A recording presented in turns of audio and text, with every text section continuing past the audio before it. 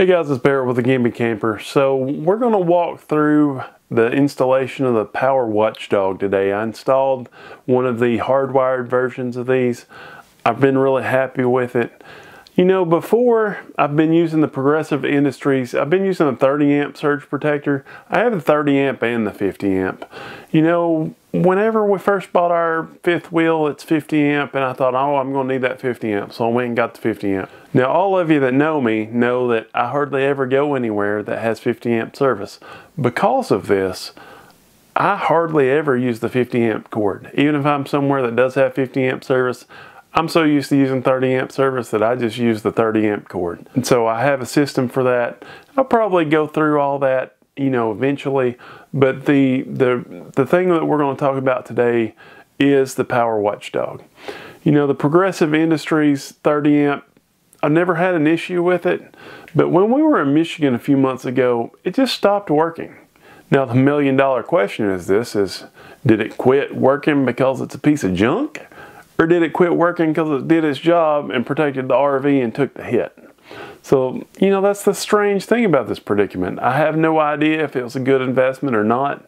I did take it apart and there wasn't any signs of any obvious damage, so who knows?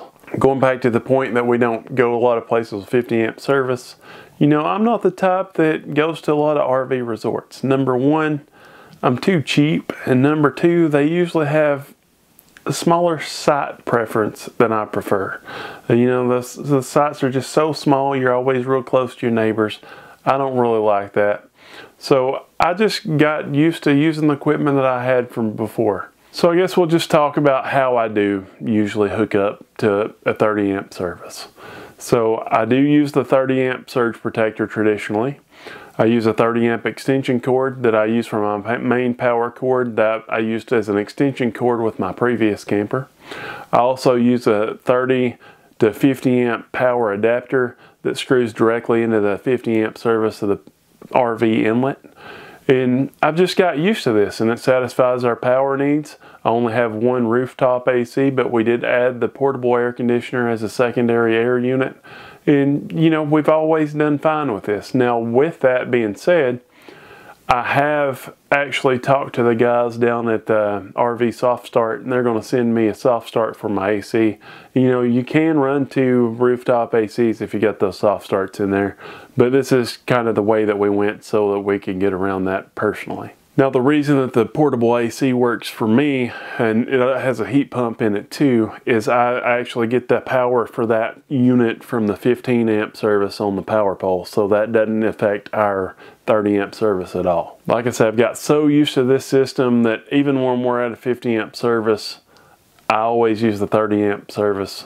I don't hardly ever use 50 about the only time that I ever used my 50 amp cord to tell you the truth is was I'm mooch docking at my dad's house. He's got a 30 amp cord, but it's a little bit too far um, for the 30 amp service to reach my RV with my main cord.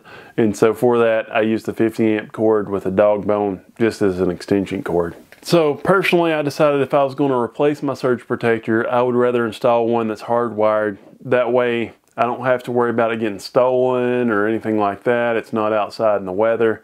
I contacted Power Watchdog because I know a lot of people are very happy with their products and they stated their 50 amp unit would function properly with 30 amp service connected to it.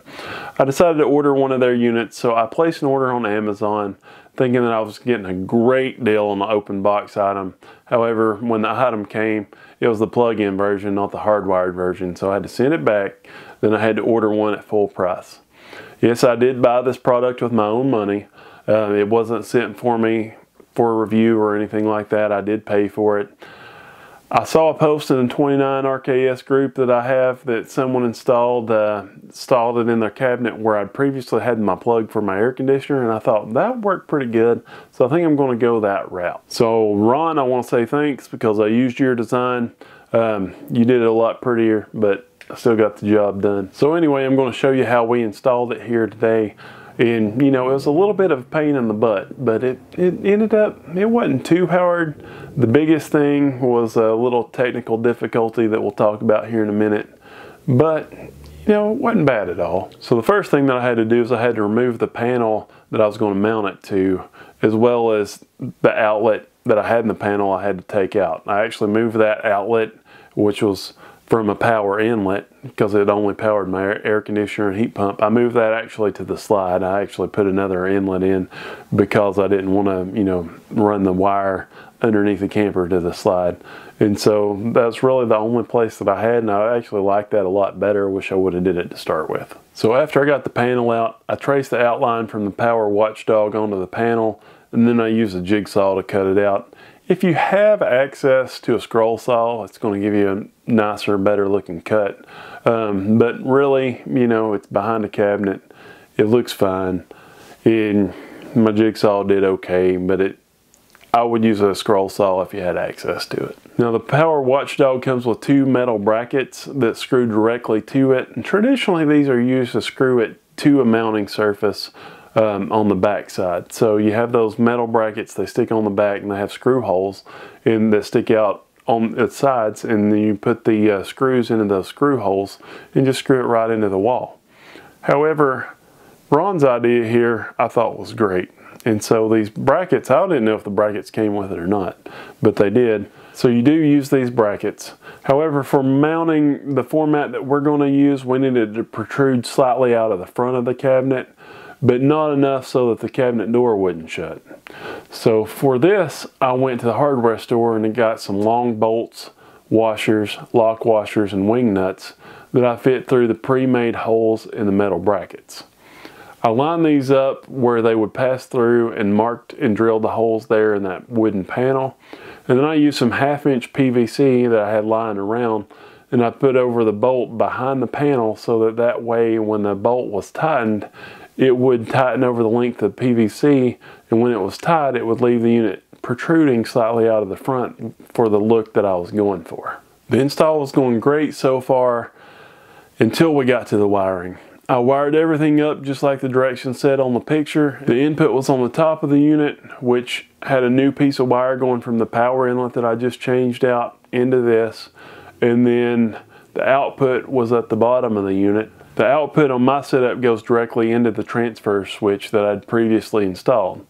However, in most setups, that's going to go straight into your distribution center. After I made these connections and turned the generator on, it didn't work. Nothing happened. No power, no light on the front of the thing. You know, I read somewhere that there can be an issue with an open ground. I doubted that had anything to do with it since I wasn't getting any power or anything, but I did go and make me a bonding plug to try to make it work. Um, didn't work. I contacted Power Watchdog Hughes and they had one of the most pleasant customer service experiences of my life. I will give them credit for that. And they sent me on a new unit after having me check a couple of things. In truth, when I went to put the new unit in, I figured out the directions were a little bit misleading. Instead, the input was on the top and the input was actually on the bottom of the unit. I did send the company a message and they apologized saying that they had some instruction sheets that were printed incorrectly and that they should have all been removed. But for future notice, there is input and output labeled directly on the plastic of the unit, which I just totally didn't see or look at until after the second one didn't work. Now it worked better after I changed the input, obviously, because the power's coming in the right place. I've used this on a few different trips now. It's worked flawlessly. You know, it's a little bit more expensive than the plug-in one, but it's easy to set up. It allows you to track how much power you're using. It shows you, you can pull the app up, you can see, you know, on each leg how much you're using. And I believe that if you have an issue where it gets fried, they actually have replacement modules that you can use to fix it without having to buy a whole new surge protector. I don't know how much those uh, those modules are, but you know that speaks a ton to me that you can fix it and not have to buy the whole unit again. Like I say, I had great experience with their customer service. This thing's been working great for me. You know, I don't really know how else I can tell you guys that you know, it is kind of a, a large purchase, especially on the front end. Um, but if you're going to buy a surge protector, I would say go ahead and get something like this that, that's got the whole electronic um, EMS system built into it and it works great. I love it. I like the look of it whenever it's powered on. It's got the little light on the Bulldog that's behind the cabinet, which is good behind the cabinet because the, you know, it's pretty bright. So my daughter sleeps in the living room here. It could be a nuisance. But we actually had a camper whose granddaughter came in and they were looking for some marshmallows in the cabinet. And she opened the cabinet up. She, she was like three years old. She said, look, a puppy dog. So, you know, it is kind of cute, but it works great. I love it, and you know that's where we are with it. So stick around and we'll show you some more um, electronic updates that we've done since that time. We have a whole series that we're working on here. So thanks guys for following the videos and, and keeping track of our journey and seeing our projects. Do not forget to hit that subscribe button.